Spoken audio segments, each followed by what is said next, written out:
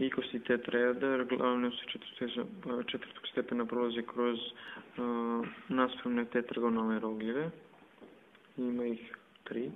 Onda ose L3 sporedno se prolazi, trećeg stepena prolazi kroz naspramne uh, trigonalne rogljive. To je, držim ovo.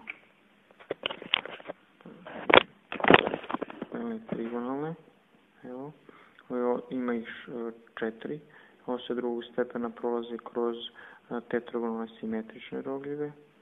Jedan, dva, to je to. I ima ih šest. Ima centar, tri glavne ose, šest sporedne.